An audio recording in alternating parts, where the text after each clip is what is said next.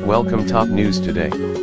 North Korea's nuclear activities will continue as the new year approaches with the reclusive country's efforts to enhance its nuclear capabilities in the future, its state media said Saturday. During all tempests on this planet. The report also mentioned about the war of words between President Donald Trump and North Korea's supreme leader in 2017. Trump repeatedly